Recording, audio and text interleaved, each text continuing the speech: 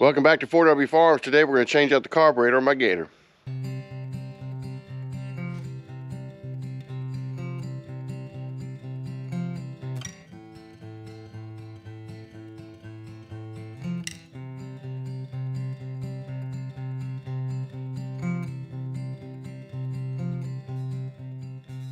All right, so we got my my Gator parked here with the tailgate up. Here's the carburetor right here. I should probably clean it off, but we kind of winterized our pressure washer already. But that's what we got to change out. From everything I've gathered online as far as what could be wrong with it, uh, I think during one of the intros of my videos you saw the blue smoke pouring out of it. I'll show you that again here. I gotta work on it. Hopefully we'll make it today. Burning up my engine or something. A little smoke mobile. Actually, that's the worst I've seen it.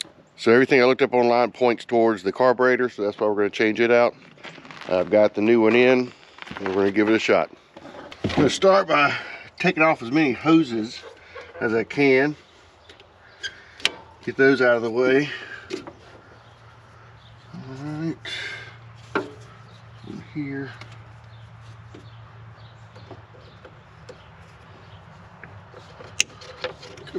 What? Uh, that's just a. That's overflow. All right. I'll just leave that on there for now. Got a hose here. This is the fuel.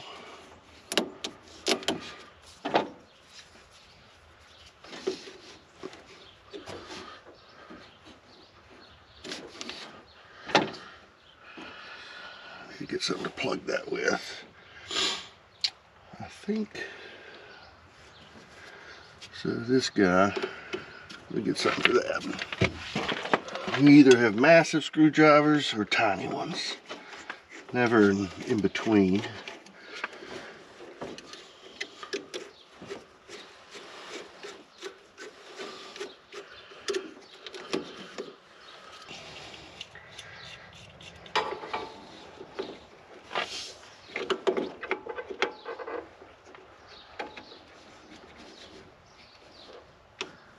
All right, that's tight. There we go. There's a ground on there.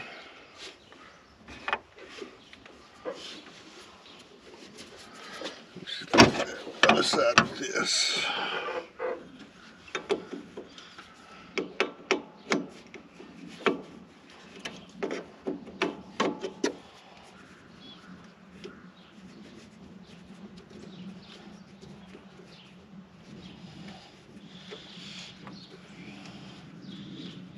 Okay, there. Studs. Let me get something to block that fuel. Now I just need to get. Need to get this guy off.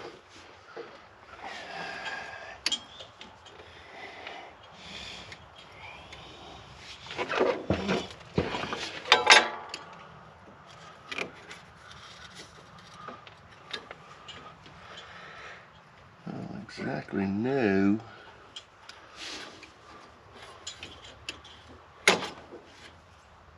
Ah, just like that. And then, oh yeah.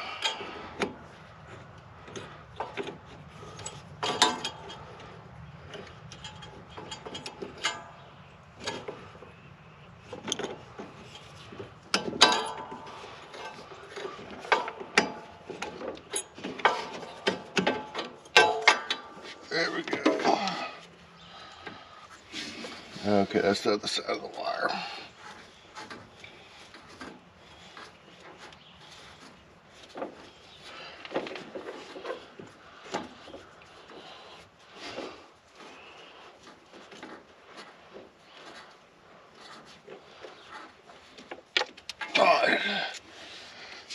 This apparently needs to stay with it. This connects those two. Good. It's off. And here we go. Now we gotta make sure each side's clean and ready for ready for the new gasket without putting any scratches on the metal itself.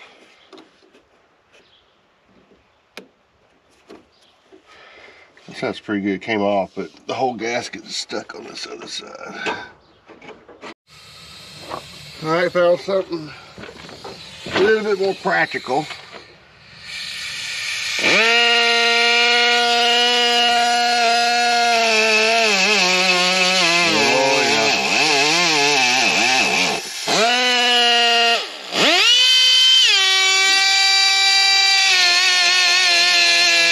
Gotta be real careful with this. Outside.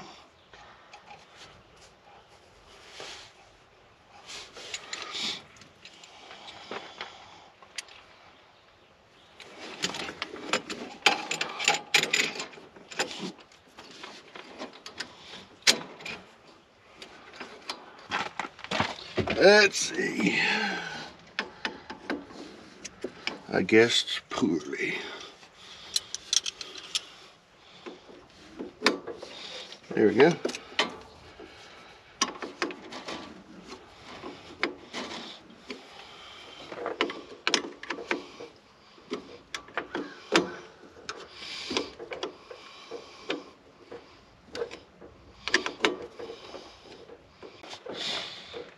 And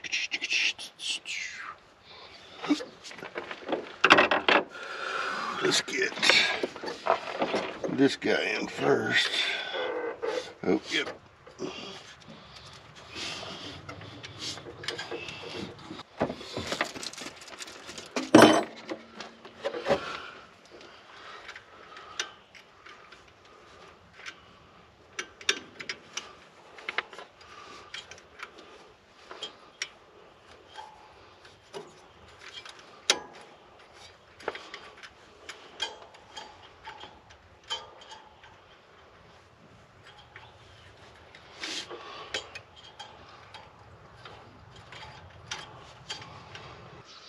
We will run some tests on it and see how bad I mess this up.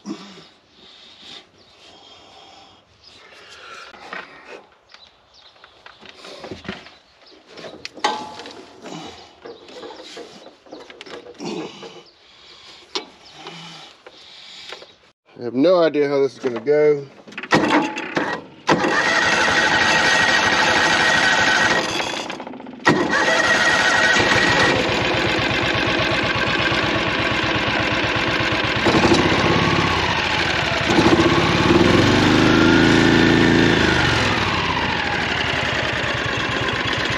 Sounds okay. Let's see if it feels any different.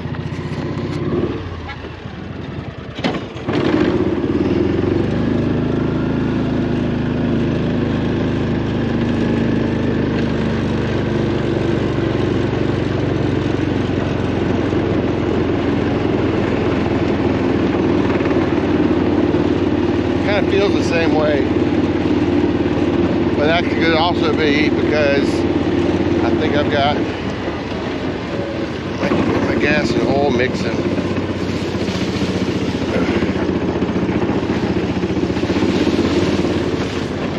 Nah, it just gave out.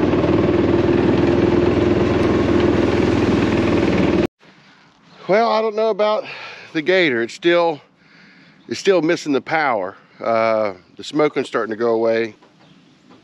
I just don't know my power issue. Might have to order uh, another fuel pump. Probably do that and uh, go from there. So I don't know if I've mentioned this because I've got a Gator video where I was working on it a little bit and I don't know, I can't remember exactly what I recorded. So I just wanted to update I was having problems with the carburetor. Put a new carburetor on there and uh, it didn't work. Gas was pouring out of the overflow. Let me see if I can set that up here. So here's the carburetor right here. This is what I changed out. And when I did, gas would just pour out of this overflow on the back side of this carburetor right here. Brand new carburetor, and it was uh, it was choking out. When it would pour that gas out, it was choking out, and I wasn't getting any good uh, any good acceleration. It was just pretty much just like on choke the whole time. So what I did, I ended up taking off the bottom bowl. I ended up taking off the bottom bowl of that carburetor. Let's see if I can show you. There's that bowl right there. I took that off. And on the inside, there's a float. So on that float, what I did, that float pushes a little a needle, a little piece of metal that uh, goes to a point and it pushes up and stops the, the gas from going to overflow. So what I had to do, I had to bend a piece of that plastic on that float to make it to where when the level was where it was always going, it would push that needle up higher. And when it did, that solved all my issues. Uh, it cranked right up, ran fine, and all it was is on that new float, it just wasn't I guess they did 3D print those floats and just wasn't done very good.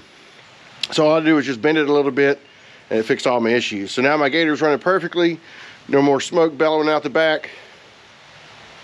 Thank goodness, because I was having a rough time putting that water tank, you know, in the back of my truck and driving out there all the time. So I'm glad I was able to fix that. Anyway, that's the gator story. I'll see y'all next time.